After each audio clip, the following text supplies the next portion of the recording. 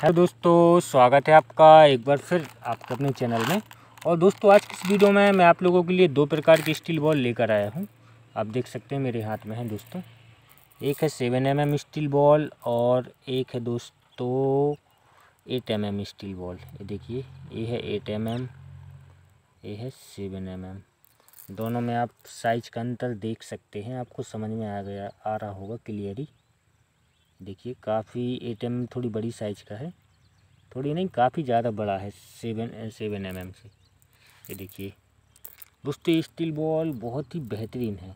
इससे आप ये मान लो कि 900 से हज़ार फिट तक आसानी से निशाना लगा सकते हो कोई भी छोटी से छोटी चीज़ पर, क्योंकि ये हवा में स्विंग नहीं करेगा आपका।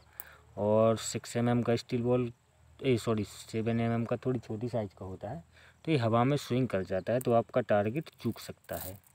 तो दोस्तों, आज की इस वीडियो का यही था कि मैं आपको बता दूँ, ये सेवन एम एम आपको पचास रुपये का सौ पीस आने वाला है और ये आपको सौ रुपये का सौ पीस आने वाला है।